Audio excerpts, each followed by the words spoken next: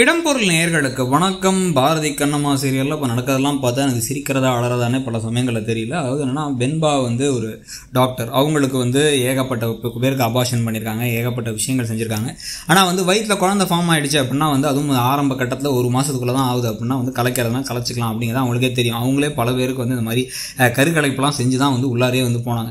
இருந்தாலும் வந்து அவங்க வந்து அது மட்டும் இல்லாமல் தவறான ஒரு உறவு அப்படின்னு நடந்ததுக்கு பிறகு அடுத்த நாள் காலையில் ஒரு மாத்திரையை கூட போட்டிருக்கலாம். அத்தனை விஷயம் விஷயங்கள் இருக்கும் போது அது எதையுமே பண்ணாமல் எங்கேயோ போய் டெஸ்ட்டு கொடுத்தாங்க. அது வீட்டிலே டெஸ்ட் பண்ணலாம். டெஸ்ட்டு கொடுத்து வந்துச்சா இல்லையான்னு ரிப்போர்ட் வரதுக்கு வெயிட் பண்ணி பார்த்தாங்கிறதாகட்டும் இல்லை வந்து இப்போ வந்து அவங்க அந்த குழந்தைய நான் வயிற்றில் வச்சுட்டு இதை வச்சே நான் பாரதி மனசை மாற்றிடுவேன்னு சொல்லிட்டு கூமுட்டத்தனமாக யோசிக்கிறதாகட்டும். ஏன் கூமுட்டத்தனமானா எத்தனையோ வகைகள் இருக்கும் போது இவங்க அதை யோசித்த விதமோ இல்லை வந்து யாரோ ஒருத்தவங்க குழந்தைய வயிற்றில் இருக்குது அப்படின்னா அதுக்கு பாரதி கண்ணமாவே ஏற்றுந்திருப்பாரு அவர் அந்த சந்தேகத்தில் தான் இருக்காது கண்ணம்மா வயிற்றில் இருக்க குழந்தை என் குழந்தைங்கிற சந்தேகத்தில் தானே பிரிஞ்சு போனார்.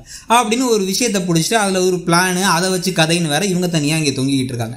இந்த பக்கம் வந்து பார்த்திங்க அப்படின்னா வந்து கண்ணம்மாவும் பாரதி என்னதான் வந்து அப்பப்போ பதினஞ்சு நாளைக்கு ஒரு தடவை ஒன்று சேர்ந்து கட்டி பிடிச்சாலும் அதுக்கப்புறம் திருப்பி பிரிஞ்சு வெவ்வேறு வீட்டுக்கு போயிட்டு நீ யாரோ நான் யாரோன்னு சொல்லிட்டு வாழ்ந்துட்டு வேறு இருக்காங்க. உன் உலகம் வேற ஏன் உலகம் வேறுன்ட்டு.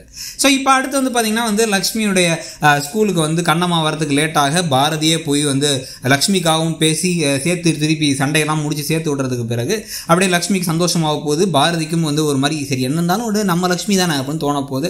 இதை வச்சு கொஞ்சம் கொஞ்சமாக குழந்தைகளுக்கு வந்து த- பாரதி மேலே இருக்க பாசமும் பாரதிக்கு குழந்தைங்க மேலே இருக்க பாசமும் அதிகரிக்குதுன்னு கதையை கொண்டு போக போகிறாங்க ஆனால் நீங்கள் இந்த சீரியல் இப்போ எப்படி போகுதுன்னு நினைக்கிறீங்கிறத கமெண்ட் செக்ஷனில் சொல்லுங்கள் தேங்க்யூ இடம்பொருள் நேயர்களுக்கு